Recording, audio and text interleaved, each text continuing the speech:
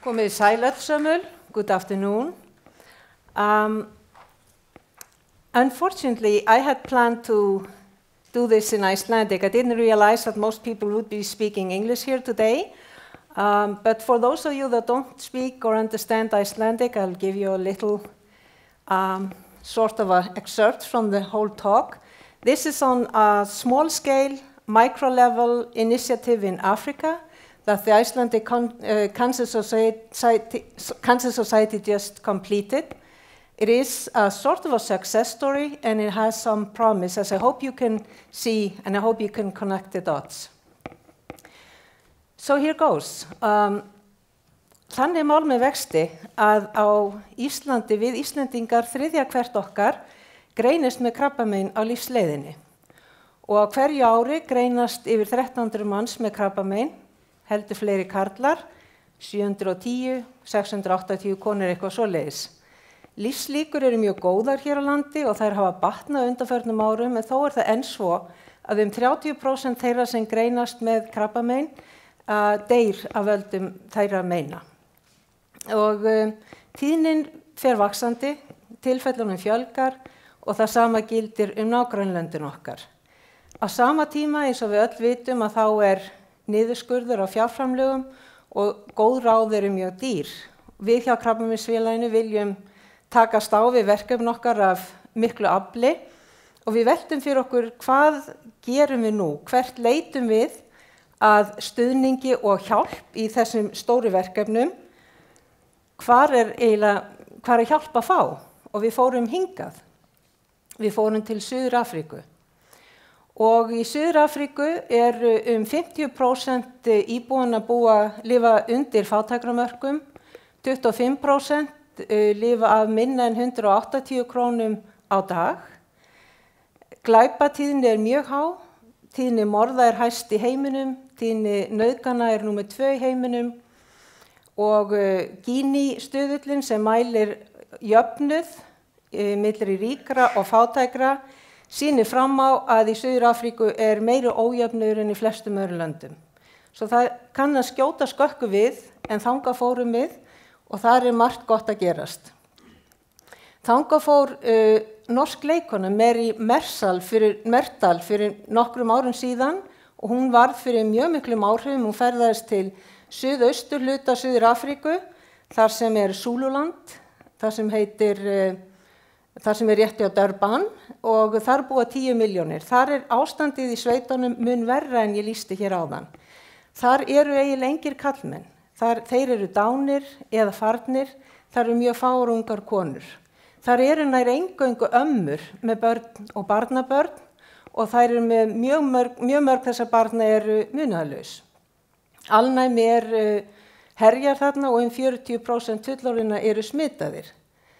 Og uh, þessar ömmur eða gógós, þær eru með alltaf 15 börn í hverjum leirkofa með stráþaki og sofa á moldargólfum og þanga fórum við að leita hjálpar. Þarna eignuðist við góða vini.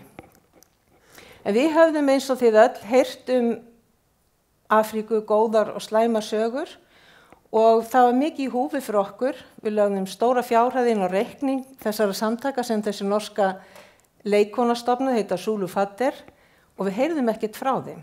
Og það fór nú að fara um okkur hjá Krabbamæsfélaginu og þessi ákverðin fórstjórnans og fleiri var orðin mjög umdild og uh, það er ekki löst ég vera óttastlegin, ég hugsaði með mér að þarna er sjálfsagt um að ræða einhvers konar barnaþrækkun, þarna er einhver mútur, þarna er einhver spilling. Og það endaði með því að það fóru tveir sjálfbóðlegar, Elisabeth Haraldsdóttir og Margret Jónsdóttir fóru á stúfana, ferðust til Suður Afríku og kynntu sér sjálfara eigin raun þetta verkefni, voru með þessum ömmum frá mótni til kvölds alla daga og fylgdu framlegsluferlinu uh, alla leið og er skemst frá því að segja ástæðan fyrir því að við fengum engar upplýsingar verið einfaldilega svo að það er engin yfirbygging á staðnum.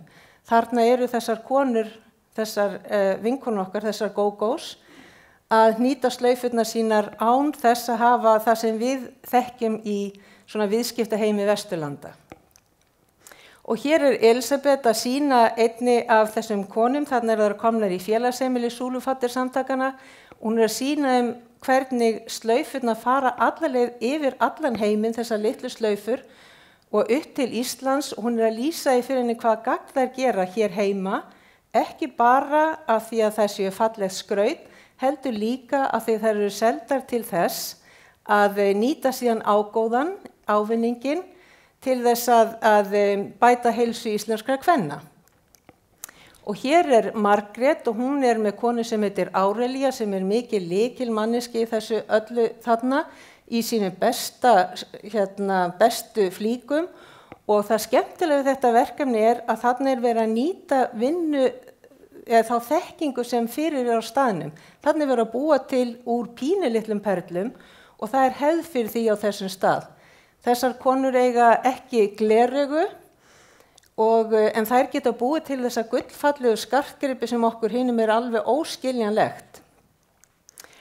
Og um, þær byggur sér til nokkur skona saumaklúpa, þeim fjall ekki verkur hendi, þær unnu frá modni til sólalags í, í litlu kofunum sínum, það er kastlarna og þær voru í litlu kofunum sínum, það er engi ljóskjafar, og, en þær e, byggur sér til svona félagskap, þetta urði nokkur skona saumaklúpar, og um, árangurinn var eftir því því að okkur fannst við borga vel fyrir þetta verkefni og þarna eru til dæmis á vappi andvirði 60 nýttra slaufa. Ein hæna er fenginn fyrir 15 slaufur og uh, eitt hús eins og þarna stendur fyrir það þarf maður að nýta 4000 slaufur og það voru nokkra konur sem gerðu það 10 slaufur eru skór örfáðslaufur er strámotta á gólf. Þannig að verkefni sem að þessar konu syndu að nýta 50.000 slaufur fyrir 320.000 manna þjóð að e, það breytir til frambúðar lífi þessa fólk sem þarna er. Þarna eru 2000 börn og 150 ömmur eða gógós og þetta verkefni breytir lífi þeirra til frambúðar. En stærsti draumurinn, hús og hænur og, og, og mottur og skór er allt góðra gælda verðt, en stærsti draumurinn er að geta menta börnin og það er, e, það er ekki mikil námsgögn til og það er ekki margi kennarar en það tekst með hjálp þessara samtaka súlufatter og með svona verkefni eins og okkar að tryggja þessum börnum skólagöngu. Það skemmtilegasta samt við þetta litla verkefni er það að þessar konur, þær glöttust svo mikið yfir því að þær væru að leggja mörgum til okkar. Þær fundu fyrir mikillir svona sjálfsverðingu, aukinni sjálfsverðingu og miklu þakklæti og, og þær sögðu dæin út og inn þegar sjálfbóðlegarnir tveir komið til þeirra þá séu síja bonga, síja bonga sem þýðir takk fyrir, takk fyrir og, og gretu og um, þær voru í fyrsta skipt á æfinni að fá greitt laun fyrir vinnuna sína, orðna fullorna konur. Það er þurft að nýta 200 velgerða slaufur og þá fengu að greitt í beinhörðum peningum. Það réðu þá sjálfur auðvitað hvernig það fóru með verðmætin, eh, já, eh, launin sín. Og þarna sjáu þið vinnulúnar konur í lókdags, það er erfitt að ímynda sér hvernig þessar konur geta búið til þessi fallegu verk sem við berum nú all meir og minna. Ég vil líka benda á að þarna við sendum eina tösk af gömlum bólum frá krabbaminsfélagin, það stendur á þessu heilsuhlaup krabbaminsfélagsins 2008 og þær voru mjög stoltar og lögðu gætnan lofan á merkið heilsuhlaup og fannst þær vera komnar í svona ákveði lið þarna. Svo nú verður afgangurum sendur sem hinga til að fengist á 200 krónur hjá okkur. Og, eh, og það lýsir sér af þessum konum stoltið. Og uh, þarna er, eh, er ég aðeins að varpa ljósa það að þarna var, allt var nú bleikt í kringum þetta badn. Þetta badn er reyndar drengur, fyrir miskilning fekk það vist allt bleikt, en það er eiginlega svipur nú andlitinu, hann er ekki svona áhyggjufullur af því hann er með allt bleikt. Hann er svona horfa svolítið átti framtíðar og, og þessi drengur eins og öll þessi börn þarna þau eiga sér í rauninni enga von ef maður komið til fleiri og meiri svona verkefni af þessu tægi. Og þarna sjáu þið fjölskyldu sem er aðeins fyrir utan þetta súlufattirverkefni og þið sjáu strax að þetta fólk er mun verð statt. þau eru fátaglegri og örbyrðin og svona vonleysi lýsi sér meira í andlitum þessa fólks. Og það er erfitt að vera með svona verkefni og það nær bara hingað og örbyrðin er rétt hinum með við hotnið. Og það sem ég hef verið að gera undanförnir er að ég er að reyna að kynna þetta verkefni sem við tókumst á hendur e, fyrir Evrópusamtökum krabbamisfélag og ég er satt að segja nokkuð vongóðum að þessi bolti verði gripin og það verði spilað með hann áfram og einhvert annað stórt félag í Evrópu panti næst að slaufur á þessu fólki. Og uh, það fælst í því mikil ábyrð að byrja á svona verkefni og mann langar til þess að halda áfram og láta meira til sín taka. Það er erfitt að draga sér í hlið og ég er ákveðin í því að gera allt sem ég get til þess að halda þessu áfram.